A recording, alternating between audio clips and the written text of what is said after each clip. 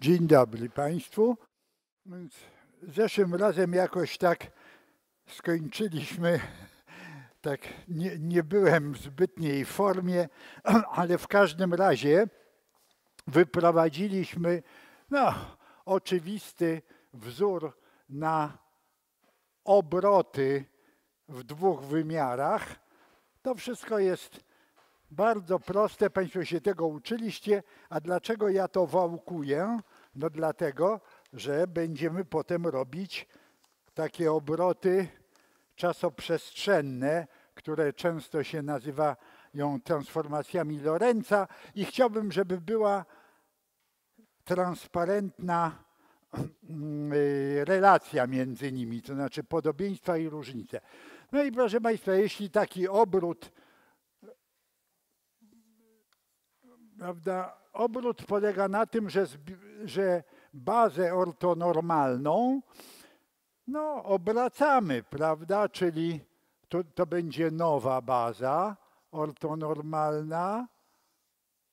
No i jeśli to jest kąt alfa, to napisaliśmy, że ten obrót no to jest taki. A, no i teraz ta nowa baza, to oznaczyliśmy ją E1 oraz E2 z tyldami, no to mieliśmy wzór taki, że E1 z tyldą równa się E1 cosinus alfa plus E2 sinus alfa, no E tylda 2 równa się E1 minus E1 sinus alfa plus E2 cosinus alfa. No i można to zapisać w takiej postaci macierzowej. Widać, że ta macierz współczynników, taka macierz cosinus alfa, sinus alfa, minus sinus alfa, cosinus alfa, no to jest macierz obrotów. Można powiedzieć, że to jest obrót o kąt alfa. No i Państwo wiecie, boście się przecież na pierwszym roku tego na pewno uczyli, że te obroty stanowią grupę, prawda? Że jak się coś obróci o kąt alfa, a potem jeszcze obróci o kąt beta, to to, się, to, to jest obrót o kąt alfa plus beta. No więc w szczególności na przykład ob, odwrotny obrót, prawda? Obrót o kąt y, alfa do minus pierwszej, to znaczy odwrotny, no to jest to samo, co obrót o kąt minus alfa i tak dalej, i tak dalej.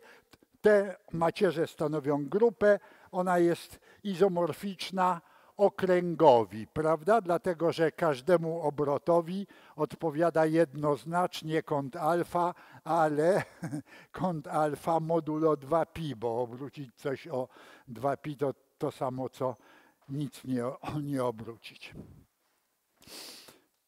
No to skoro tak, no to można te wzory rozwiązać w drugą stronę, no i napisać, że E1, no to trzeba macierzą odwrotną, czyli po prostu zamienić minus na plus. E1 to się równa E1 tylda cosinus alfa minus E2 tylda sinus alfa, no a E2 to się równa E1 tylda sinus alfa, a tutaj plus E2 tylda cosinus alfa.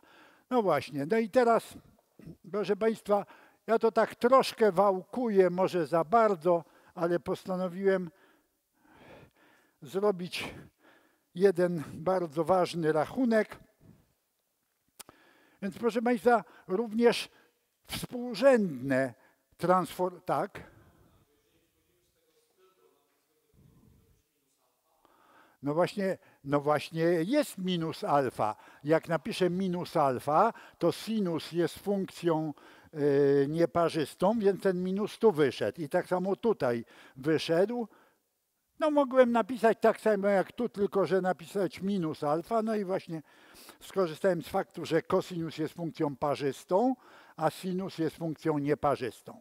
Dobrze, proszę Państwa, to teraz jak mamy jakiś wektor, to jego można zapisać albo w jednej bazie, napisać, że to jest x1 e1 plus x2 e2, no a można go zapisać w innej bazie, prawda? Można napisać, że to jest x1 tylda e2 tylda plus x2 tylda e2 tylda. No i oczywiście zamiana bazy, y, bazy implikuje zamianę współrzędnych.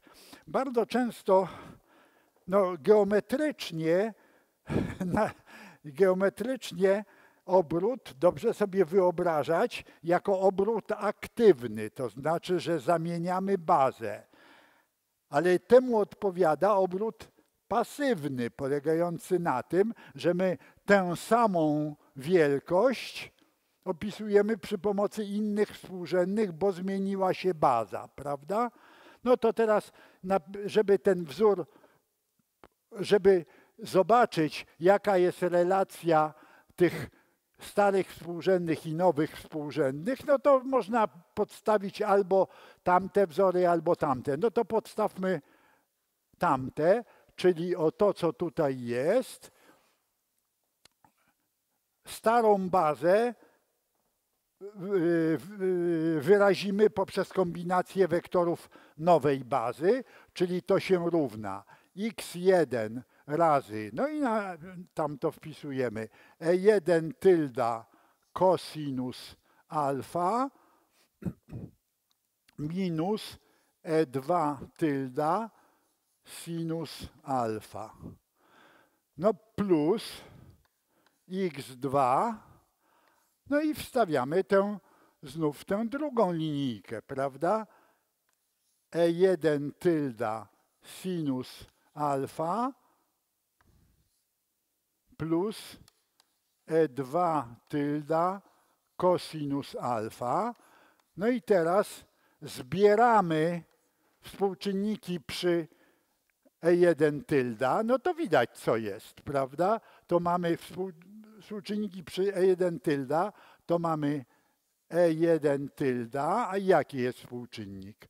x1 cosinus alfa plus x2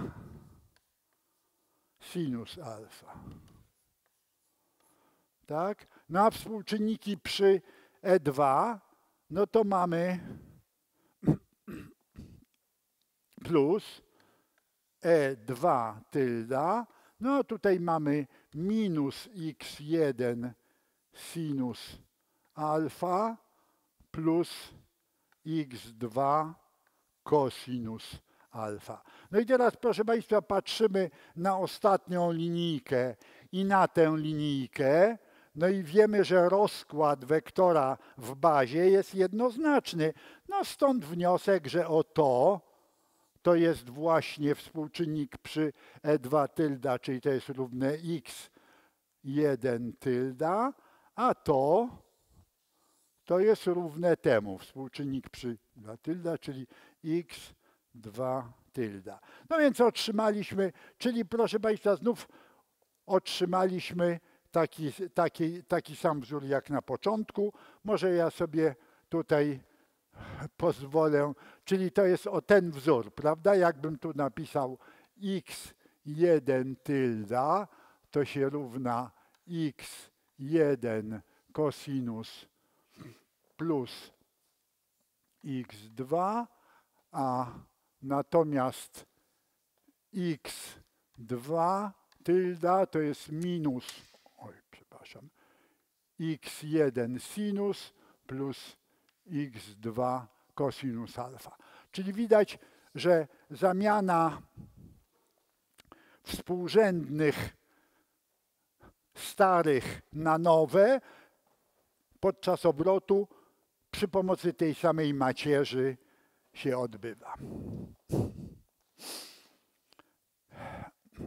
Proszę Państwa, ale to jest, no tak sobie poćwiczyliśmy te rachunki, ale ten obrót można by jeszcze, co, co to jest obrót? To jest taka transformacja liniowa bazy, która zachowuje ortonormalność. To znaczy, że po tej transformacie co było, co miało długość 1, to nadal ma długość 1, co miało długość 1, to nadal ma długość 1, a co było prostopadłe, to nadal jest prostopadłe, prawda? No to jest dobra definicja obrotu, ale ja bym chciał jeszcze, jeszcze inną metodę. Otóż proszę Państwa, na takiej płaszczyźnie euklidesowej jest dobrze określony operator Laplace'a, no, który w dwóch wymiarach to jest suma drugich pochodnych.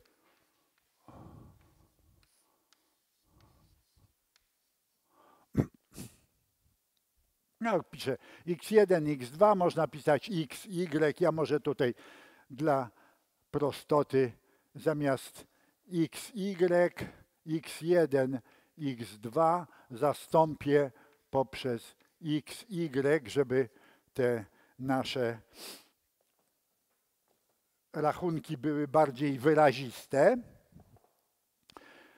Oczywiście Państwo pewnie się uczyliście, że taki Laplacian w, można liczyć w innych zmiennych, no i przeliczenie go do innego układu współrzędnych to jest wysoce niebanalna sprawa, ale w szczególności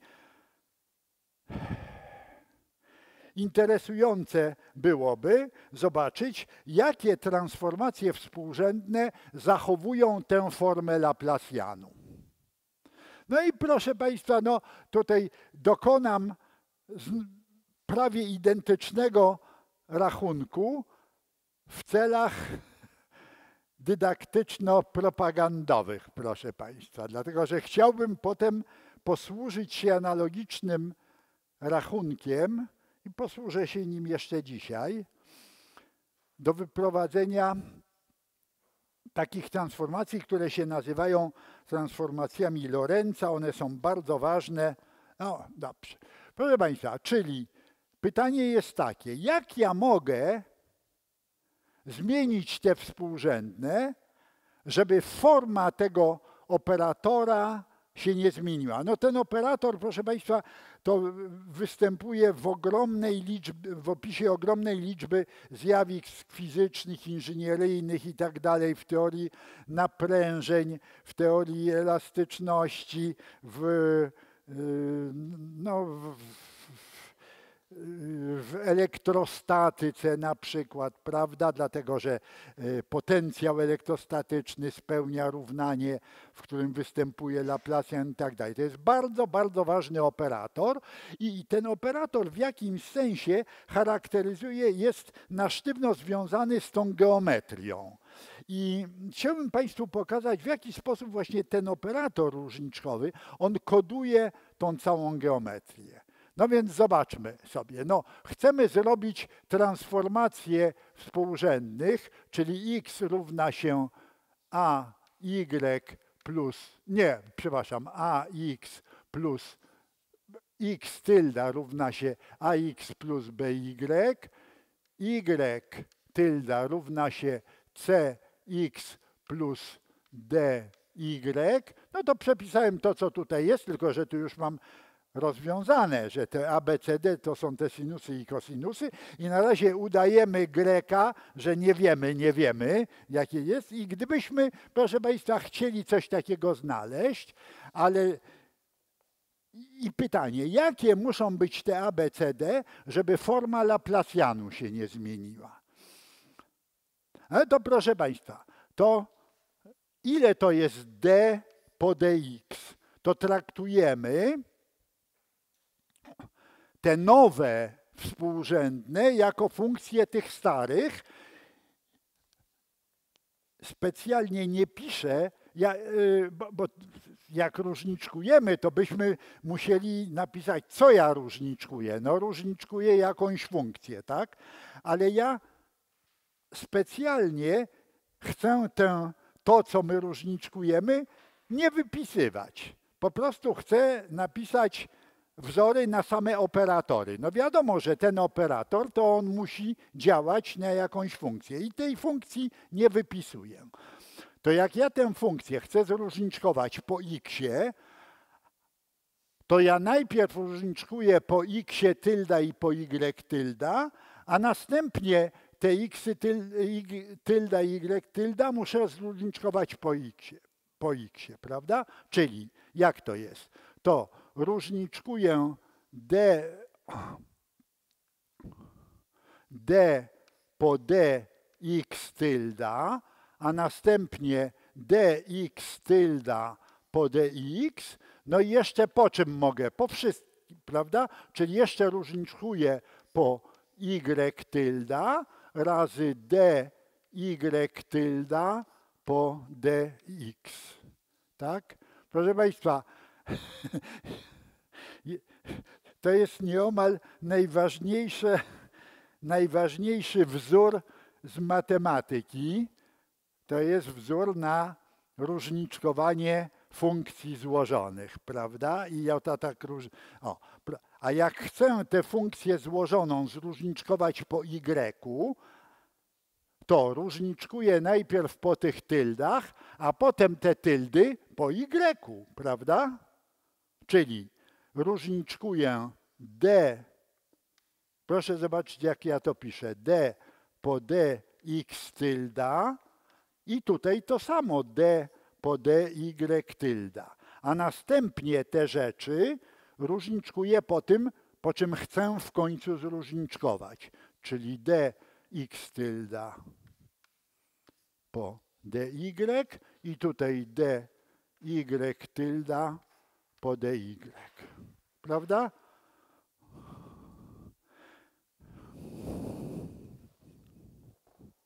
Być może, gdyby Państwo się nauczyli takie wzory pisać od ręki, to być może byłaby to jedna z największych korzyści, jakie Państwo z tego mojego wykładu wyniosą. No dobrze. No ale jak już tak napisaliśmy, no to tak. Co to jest dx tylda po dx? No to jest właśnie to a, tak? dx tylda po dx to jest a, d po dx tylda, a y tylda po dx to jest c, tak? Czyli plus c d po dy tylda. No a tutaj x tylda po dy, x tylda po dy to jest b, tak? Czyli tu jest b, d po d x tylda, a y tylda po dy, y tylda różniczkuje po dy, to jest d. d po d y tylda. No proszę Państwa, no to teraz cóż nam innego pozostaje, jak tylko użyć tego, cośmy wyliczyli.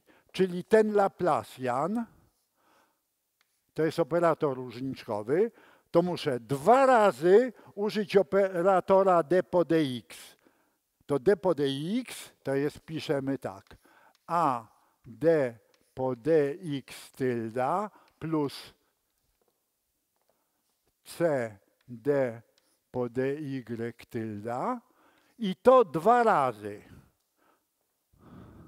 Ten kwadrat oznacza, że dwa razy, że działam tym operatorem na tę funkcję f, która tutaj jest w pamięci, jej nie wypisuję, a potem na to, co wyjdzie, jeszcze raz. Tak?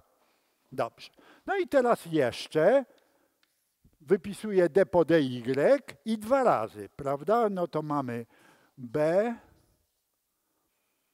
d po d x tylda plus d d po dy tylda i do kwadratu. No proszę Państwa, to tak. Na pewno dwa razy z tego kwadratu wyjdzie dwa razy różniczkowanie po dx. No stałe to się wynoszą, więc tu wyjdzie a kwadrat, d2 po dx kwadrat, ale stąd też wyjdzie d2 po dx kwadrat, prawda? Po, druga pochodna po x tylda ze współczynnikiem b kwadrat. Więc w sumie dostaniemy tak, stąd a kwadrat, stąd b kwadrat i tu jest druga pochodna. Mogłem napisać, mógłbym napisać d po dx tylda do kwadratu. Mógłbym tak napisać, prawda? No ale to się na ogół ten operator, ale to jest równorzędny zapis d2 po dx tylda kwadrat, tak? Dobrze. Teraz tak, jeszcze stąd wyjdzie druga pochodna po y tylda ze współczynnikiem c kwadrat, stąd wyjdzie druga pochodna po y kwadrat ze współczynnikiem d kwadrat, bo dwa razy to d, no więc tutaj w końcu wyjdzie c kwadrat plus d kwadrat d2 po dy tylda. No proszę Państwa, a jeszcze będą, jak ten kwadrat liczymy, to jeszcze będzie mieszany iloczyn. Raz będzie a d po dx działające na c d po dy, a drugi raz będzie c d po dy na a d po dx. No ale proszę Państwa, czy najpierw różniczkować po x, czy na, najpierw po y, to jest jedno i to samo, bo róż, yy, pochodne cząstkowe są symetryczne, prawda? No więc to jest, czyli to jest dwa razy to samo, czyli tu wyjdzie dwa razy i stąd za każdym razem wyjdzie A razy C, ale dokładnie taki sam człon wyjdzie stąd, bo tu też dwa razy B razy D i mieszane na pochodna. Czyli w sumie wyjdzie dwa razy, potem wyjdzie stamtąd AC, stamtąd BD, a tu jest druga pochodna D2 po dx tylda, dy tylda. No i teraz chciałbym, żeby się nie zmieniła forma Laplacianu. Co to znaczy? To znaczy, żeby to było znów druga pochodna po x plus druga, po, oj przepraszam, tu dwójeczki zapomniałem, druga pochodna po y i żeby nie było żadnej mieszanej, no bo tutaj nie ma. No to co to oznacza? Że takie transformacje to muszą spełniać takie równanie, że to jest równe 1, to jest równe 1, a to jest równe 0. No i proszę Państwa, wróciliśmy, bo my już ten dalszy ciąg tej historii znamy, bo dokładnie te same równania mieliśmy, gdyśmy obroty definiowali jako przekształcenia liniowe zachowujące ortonormalność. Prawda? A tutaj definiujemy je jako przekształcenia liniowe zachowujące postać Laplacianu. I to są te same równania, no to wiemy, że rozwiązaniem to jest na przykład a równe tam cosinus alfa, b równe sinus alfa e, e, i to jest równe d i równe minus c. O, takie rozwiązanie. I to jest Dobrze, więc to jest, to jest banalna obserwacja, ale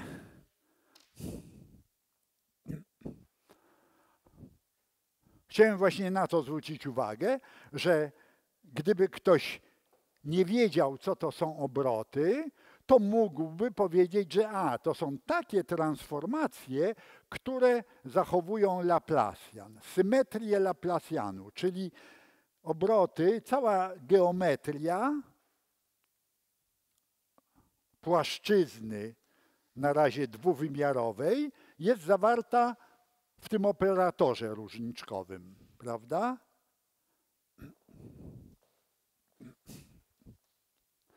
I teraz zrobimy sobie w charakterze takiego ćwiczenia pewną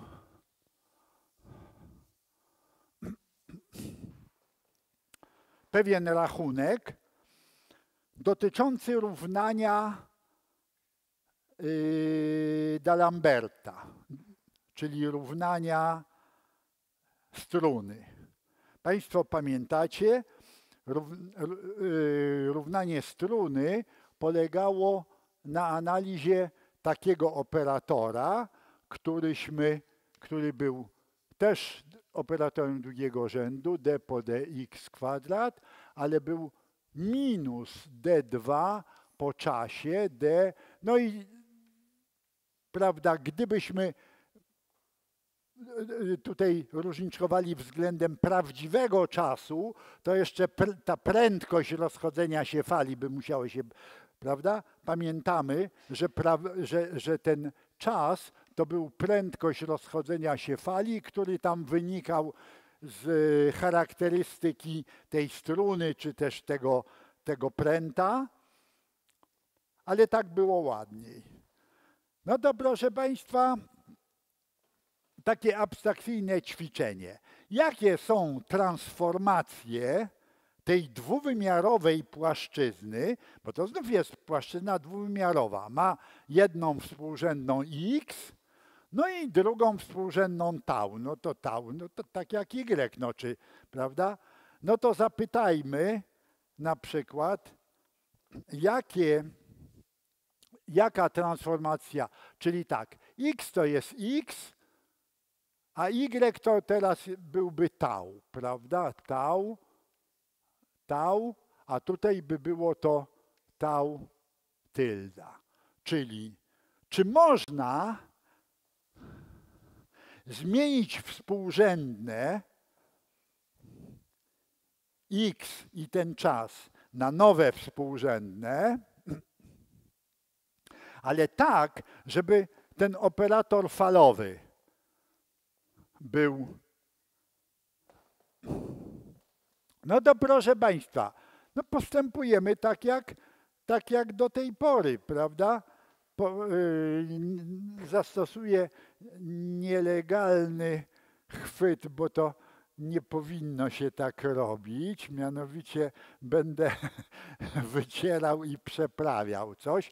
Teraz ten Y, tą drugą współrzędną, to już nie, to już tego nie ma, to już żeśmy przeżyli.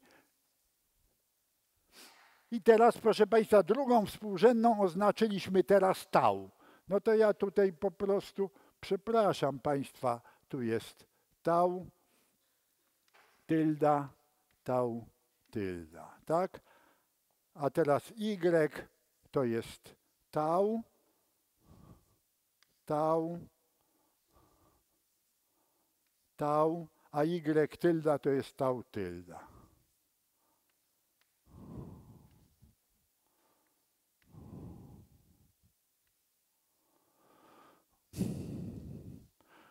No to do, dokładnie to samo.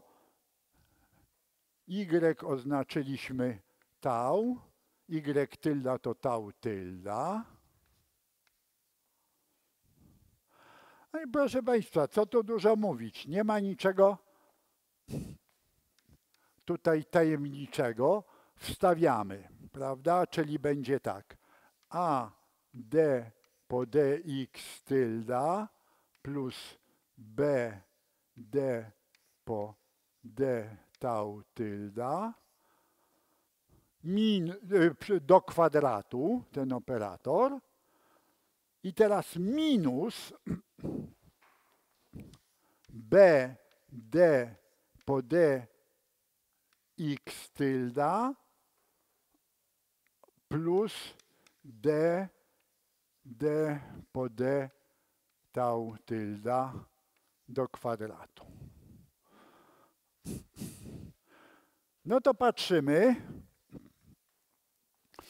No będzie druga pochodna po dx i stąd będzie druga pochodna po dx. Tu wejdzie współczynnik a kwadrat, a tu wyjdzie minus b kwadrat, tak?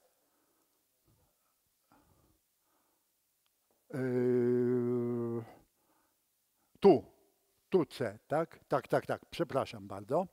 Tak, tak, AC, BD. Tak, tak, tak, tak, tak jak tam było. Dokładnie tak jak tam. No więc proszę Państwa, przy drugiej, przy drugiej pochodnej po nowym x stoi współczynnik stąd a kwadrat, stąd b kwadrat, ale z minusem, czyli jest a kwadrat minus b kwadrat razy druga pochodna po dx tylda kwadrat.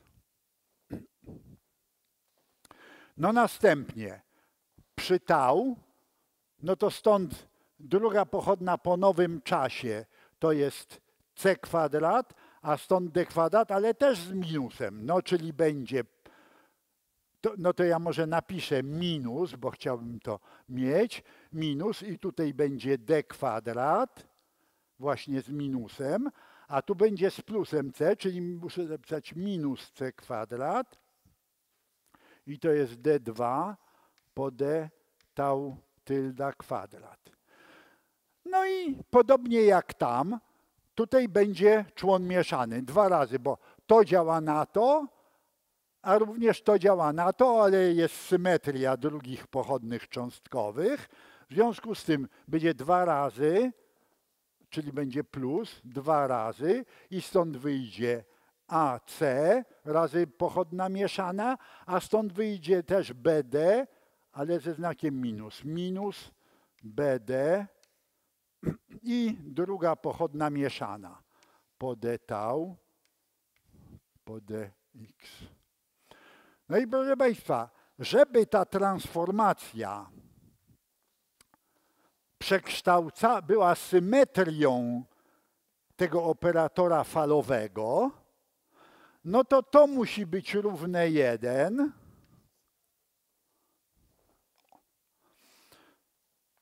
To musi być też równe 1. No a to musi być równe 0. Bardzo podobnie jak wtedy, no tyle tylko, że troszkę inaczej. Po pierwsze, tam były plusy, wszędzie były plusy, a tutaj jest minus. No to proszę Państwa, jak potrafimy rozwiązać to równanie, to zostawię sobie. Proszę Państwa, jak było, bo podobnie jak tam, mamy trzy równania na cztery niewiadome. No, gdyby to były równania liniowe, to wiemy, ale generalnie rzecz biorąc jest szansa, że jeden parametr dowolny może być, a pozostałe trzy się powinno jakoś tam wyznaczyć, prawda? No ale dla równań nieliniowych to nie jest takie oczywiste. No, jak było napisane a kwadrat plus b kwadrat równa się 1, to co ja Państwu powiedziałem? Że każdy matematyk, który to zobaczy, to sobie powie, a to znaczy, że a to jest kosinus, b jest sinus. Teraz tak, czy sinus, czy kosinus, to rzeczywiście jest troszkę wszystko jedno, bo to może być sinus albo minus sinus, albo więc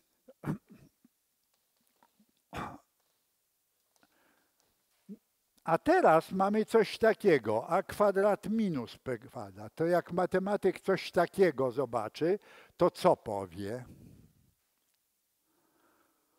Hiperboliczne, funkcje hiperboliczne, prawda?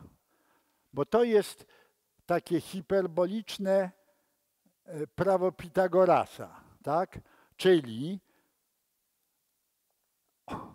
piszemy, że a to się równa kosinus hiperboliczny jakiegoś w cudzym słowie kąta. Słucham?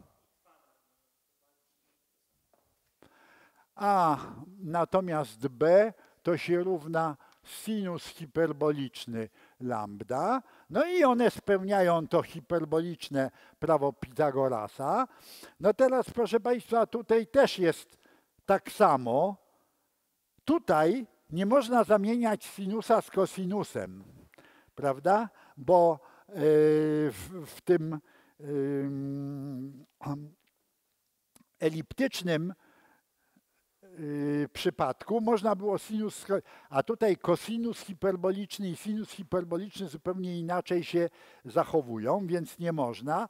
Więc tutaj chyba też jakiś sinus hiperboliczny i kosinus hiperboliczny. No i teraz to już byśmy dwa mieli rozwiązane. No i teraz pytanie, czy jest jakiś, no bo tu moglibyśmy napisać d równe kosinus hiperboliczny yy, mu c równe sinus hiperboliczny mu, no to już dwa równania rozwiązaliśmy. No jeszcze mamy dwa parametry, które zostają, lambda i mu i czy jest między nimi jakaś relacja. No ale relacja jest taka, że a razy c, a razy c jest b razy d. Stąd y, jak tam, prawda, czyli tak, mamy kosinus hiperboliczny lambda razy c, sinus hiperboliczny mu równa się e, sinus hiperboliczny lambda razy kosinus hiperboliczny kosinus hiperboliczny mu.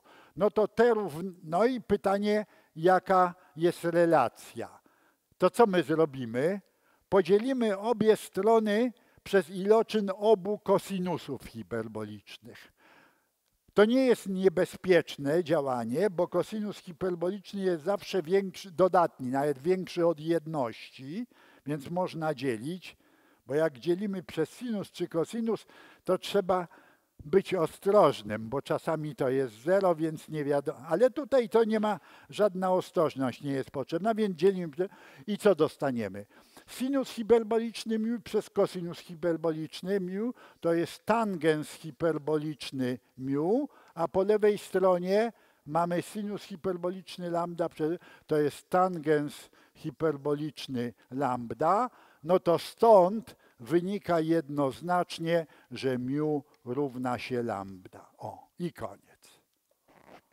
Bo tangens hiperboliczny jest odwracalną funkcją, no i w związku z tym już wszystko wiemy. Pozostał nam jeden parametr, ten parametr lambda, to jest taki kąt w cudzym słowie tego obrotu. No i zobaczmy jak to, zobaczmy jak to jest, czyli ta macierz, prawda, może napiszę to w formie macierzowej, że teraz te nowe współrzędne x tylda tau tylda, no to to, co tam jest napisane, to można napisać w postaci ta macierz ABCD, prawda, razy x y, tau. O. No i teraz właśnie ta macierz ABCD, to jak wygląda? To jest kosinus hiperboliczny lambda, tu jest sinus hiperboliczny lambda, tu jest też sinus hiperboliczny lambda, kosinus hiperboliczny lambda. No dosyć podobna mnemotechnicznie, dość podobna jest to macierz do macierzy obrotów, tylko że dla macierzy obrotów po pierwsze były funkcje trygonometryczne, a nie funkcje hiperboliczne, a po drugie, tu był plus, to, to musiał, tu, tu musiał być minus, a tutaj nie. Tutaj nie. Proszę Państwa, co to wszystko oznacza? No, możecie od razu już sobie zapamiętać, ale my do tego dojdziemy powoli, powoli, że to jest transformacja Lorenza. Obecnie taką transformację nazywa się transformacją Lorenza. To ćwiczenie, które ja tutaj zrobiłem, to przeprowadził taki matematyk niemiecki, się nazywał Voigt.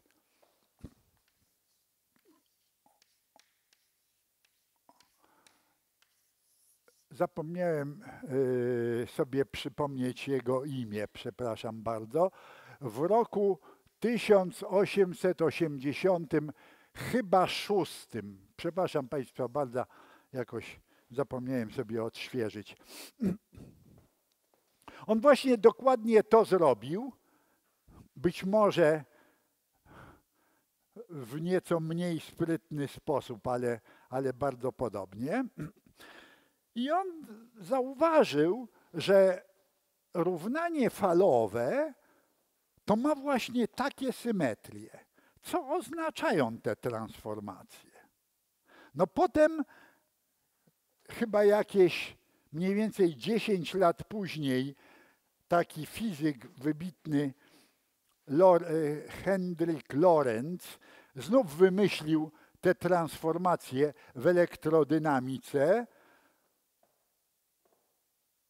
Potem taki wielki, wielki matematyk francuski Henri Poincaré Niektórzy uważają, że to on był największym matematykiem XX wieku i oczywiście się sprzeczają z Niemcami, bo Niemcy uważają, że Hilbert jednak był większy i tak dalej. Więc Poincaré tak samo wymyślił oddzielnie te równania.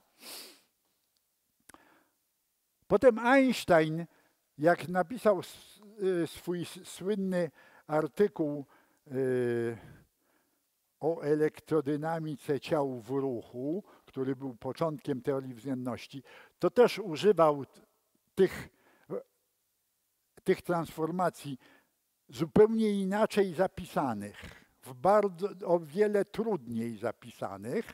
No, zaraz do tego dojdziemy. I to w gruncie rzeczy była, był początek teorii względności. Ale na razie, póki co, to ja tylko Państwu taką właśnie tutaj ciekawostkę dałem, bo ja ciągle się zajmuję rzeczami, które z teorią względności tu nie mają wiele wspólnego. Państwo przyszliście yy, zachęceni tytułem mojego wykładu, a tu ciągle jeszcze nie ma teorii względności. Ale ona nadejdzie. Na razie ta teoria względności pojawiła się w taki abstrakcyjny sposób jako grupa symetrii tego równania. Notabene to też jest grupa. Jeśli coś takiego nazwać tym obrotem, czy może nazwijmy to B ze znaczkiem lambda, B dlatego, że to jest taki obrót, no dziwny obrót, taki obrót jakiś często fizycy to nazywają boost, czyli boost to jest coś w rodzaju pchnięcia, pchnięcie po angielsku, prawda? Właśnie, więc jak mamy B lambda, a na to zadziałamy jakimś B mu, to to jest nic innego jak B ze, yy, odpowiadające wartości parametru mu plus lambda, czyli no to, to, to ma ciekawe własności. To jest grupa, jednoparametrowa grupa, tyle tylko, że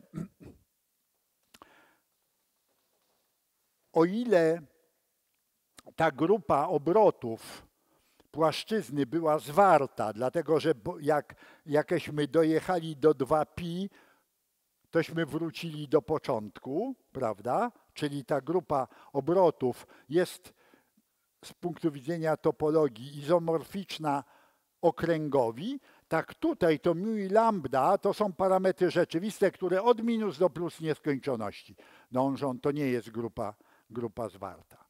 No wrócimy, proszę Państwa, do tego.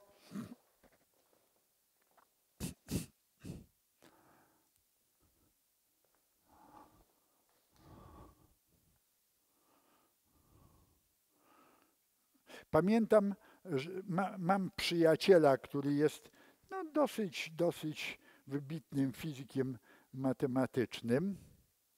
Jest Włochem, narodowości włoskiej i on yy, sporą część swojej energii życiowej poświęca na to, że pisze artykuły o tym, że to przecież nie Einstein wymyślił teorię względności, tylko Poincaré, bo już on te Poincaré wcześniej miał te wzory. Oczywiście ja się z nim sprzeczam, dlatego że mówię, teoria względności to nie są wzory, tylko to jest fizyka. to jest interpretacja tych wzorów. No więc ja na razie Państwu nie podaję interpretacji. To jest, póki co, to jest ciekawostka matematyczna, że równanie falowe ma taką interesującą grupę symetrii. A dopiero potem prawdziwą interpretację tej grupy dał właśnie Einstein. Dał właśnie, właśnie, proszę Państwa, Einstein.